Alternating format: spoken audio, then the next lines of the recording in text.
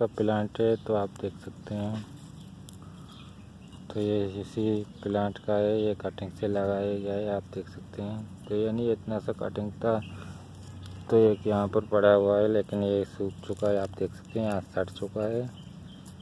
लेकिन ये ग्रो हो चुका है, इसके ऊपर के पत्तियाँ जड़ चुके हैं, लेकिन फिर से ये जनरेट हो रहा है। तो देख सकते हैं ये कटिंग का प्लांट है और ये रहे इसके बीज।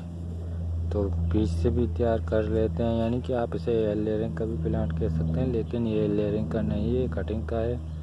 कटिंग को यानी कि रूट नहीं होता तो इस तरह से इसे यहाँ पर इसके जो नीचे रूट निकल जाते हैं। तो देख के इस चीज़ को समझें, अगर आपका जो मिट्टी ज़्यादा सोइल होगा, उसके अंदर कंपोज वाला खाद होगा, ये ज़्यादा ग्रो नहीं करेगा तो सड़ सकता है। तो दूसरे प्लांट में आपको दिखा देता हूँ। तो ये भी कटिंग का ही प्लांट है। तो देख सकते हैं, दोनों एक ही प्लांट हैं, देख सकते हैं। तो यहाँ पर मैं बीज से ग्रो कर लेता हूँ तो आपको भी दिखा देता हूँ। तो इस तरह से आप देख सकते हैं।